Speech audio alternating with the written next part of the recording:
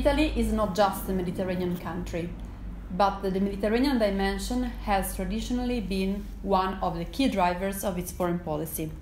This is also an area that has had limited variations over time. However, in this report,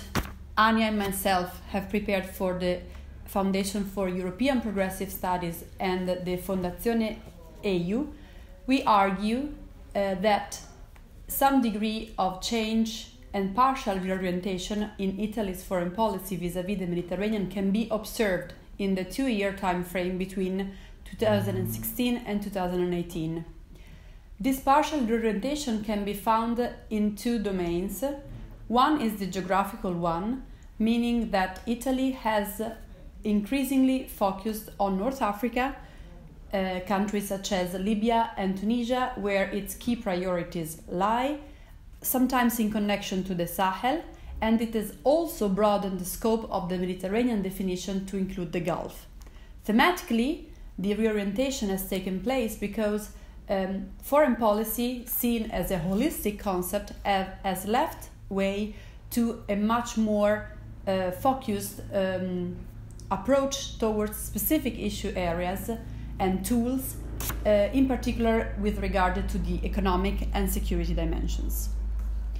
Migration is one of those areas where um, this trend not only can be observed very well, but it is also one of those uh, issues that has really acted as a key driver for this reorientation.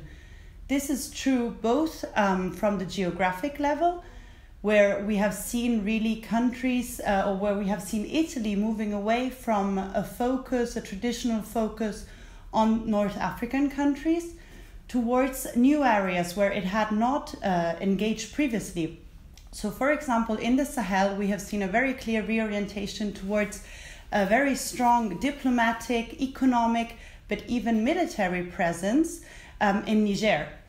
um, which is a key transit country for for uh, migrants um, in the central Mediterranean route, ultimately crossing to Italy.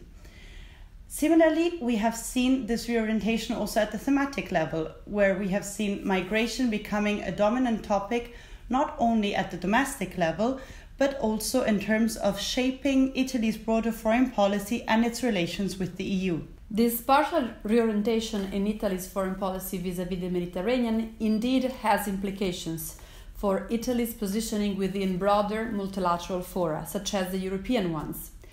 Uh, Italy has oscillated also in this period between the support, the traditional support to multilateralism, and uh, European cooperation frameworks, uh, such as the European uh, Partnership and the UN mediation mechanisms to address conflicts, such as in Libya.